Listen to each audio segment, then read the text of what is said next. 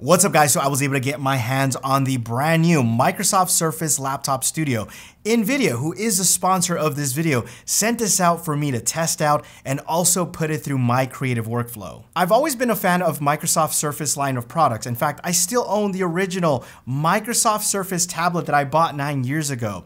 And I've done many videos on this tablet and even some of its predecessors here on the channel. So I was actually very happy when NVIDIA sent this over because I've always been a fan of these two-in-one hybrid hybrid setups. And this new Microsoft Surface Laptop Studio has really changed the way I want to create moving forward. Now, if you're not familiar with the design, it's actually very slick. There's three different modes that you're able to transition to in a very seamless manner. The first mode is your traditional laptop, and this is the mode that most people will use to write scripts, send out emails, browse the web. In my case, I primarily use this for video editing. This is the mode that I'm most comfortable and familiar with. Now, the model that I received features an NVIDIA GeForce RTX 3050 Ti GPU, which is ideal for creative professionals. And NVIDIA works with creative app partners like Adobe to optimize their hardware to accelerate graphics performance. Now in my testing, it was able to handle any 4K video projects that I threw at it without any problems. And even when I loaded a project that had mixed frame rates and codecs, including 6K video,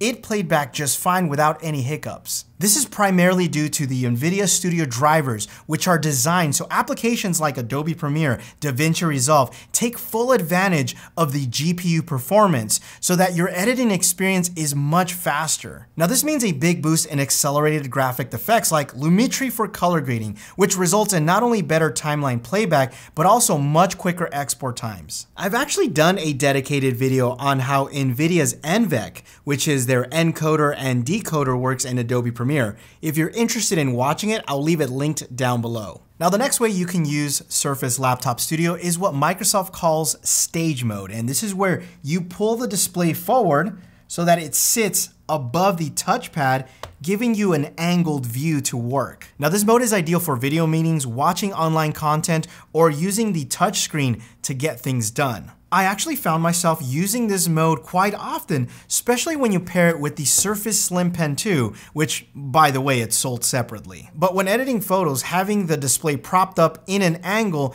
just made it much easier to make changes. The new Surface Slim Pen 2 is very satisfying to use, and it worked extremely well with all of the applications that I tested it on. Even when video editing, certain tasks just felt faster than using a mouse. Now, I know that Microsoft and Adobe work together to create a unique experience using the pen. Like, for example, they have this thing called tactical feedback. And this is where, like, for example, if you're video editing and let's say you move one of the video clips and it collides together using that magnetic timeline, like, you feel that in the pen. It's actually really neat. And I gotta say, I honestly really like it. Now, the next way you can use Surface Laptop Studio is what Microsoft calls Studio Mode, though I like to call it tablet mode because it's a lot more portable in the form factor of a tablet. The idea behind this, I feel, is kind of like a sketch pad where you have your pen and paper and you can draw. You can also take advantage of this mode using other applications. Like for example, I used it in Lightroom and found that the experience was actually very pleasant. Now I've been using the Microsoft Surface Laptop Studio for a whole week and I really like having this dynamic workflow. Like for example, if I'm video editing, I'm primarily going to use it in this laptop configuration. But let's say I need to use a pen tool.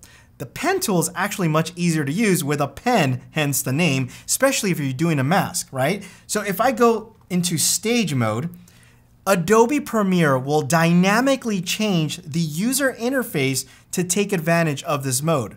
And I can just grab my pen, which is magnetically held underneath here. I can use the pen tool, create my mask, and then I can just put the pen back underneath here, which by the way, it charges.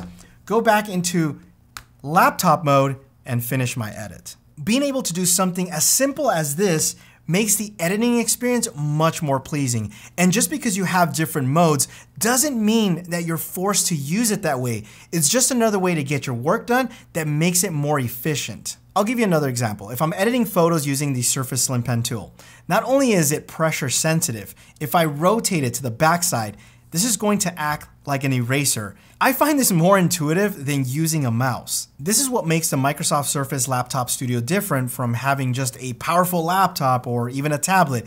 It was designed in a way where you can transition from one mode to another feeling very natural without breaking your flow. I feel like this is one of those products where hardware and software work seamlessly well together to create a unique user experience. Not to mention, it's leveraging that power from the NVIDIA GPU that works excellent in the Adobe suite. So in the week that I've used the Microsoft Surface Laptop Studio, I've come to appreciate the different modes and what each of them has to offer. Now, I know this is gonna sound cheesy, but how you work can inspire you to create something completely different. Like you're not gonna use a screwdriver to hammer a nail in, though you can, but if you have a hammer, your work will be completely different and it'll inspire you to do other things. Like I now understand what Microsoft was trying to do with the Surface Studio, the larger one, the all-in-one. Like, I kind of want one now because this has really changed the way I want to create moving forward. Now, the new Microsoft Surface Laptop Studio comes in different configurations. If you're doing creative work like I am, I highly recommend you get the model that comes with the NVIDIA GeForce RTX 3050 Ti GPU. Having better graphics performance on apps like Adobe Premiere or DaVinci Resolve, especially at higher resolutions, and also being able to watch your clip and make edits in real time is worth it in my opinion. So if you guys are interested in learning more about the Microsoft Surface Laptop Studio, I'm gonna leave a link in the description. And if you guys have any questions, leave me a comment down below. My name is Armando. Thanks again for watching and you will catch me in the next one. Adios.